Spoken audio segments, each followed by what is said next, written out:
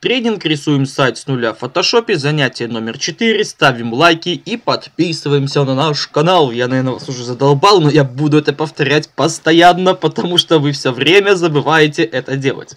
Итак, ладно.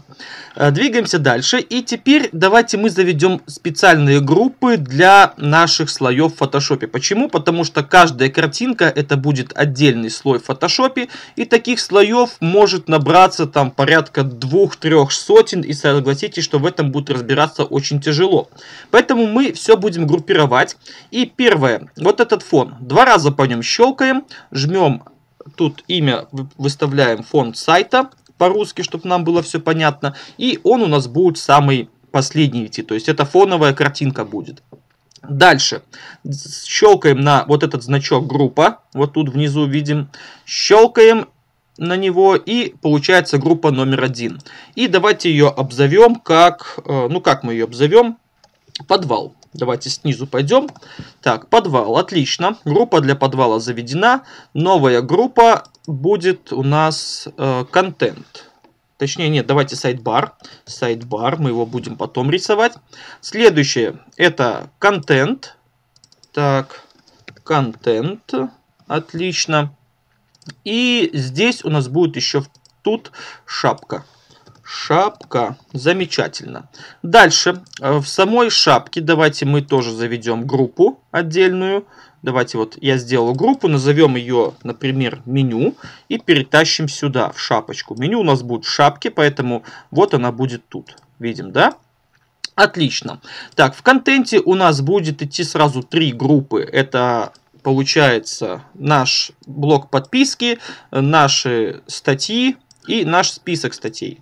Давайте мы это все тоже оформим. Три группы получается. Итак, снизу вверх двигаемся. Пишем список статей. Так, отлично. И в контент перемещаем. Затем новая группа. Она уже должна появиться в контенте. И, и называем ее статьи. Статьи. Так. И еще одна новая группа. Это блок подписки. Блок подписки. Замечательно. Закрываем теперь контент. Следующий момент это сайт-бар. И здесь, так, здесь смотрим, что у нас здесь будет. Первое это баннер 1, потом, давайте так, виджет 1, виджет 2, виджет 3, виджет 4 и виджет 5. Давайте мы здесь в сайт-баре все это сделаем. Так, виджет 1, виджет 1. Так, и перемещаем сюда. И теперь давайте мы сделаем копию. Просто берем этот виджет и перетягиваем вот сюда. Щелк. И потом еще две копии сделаем.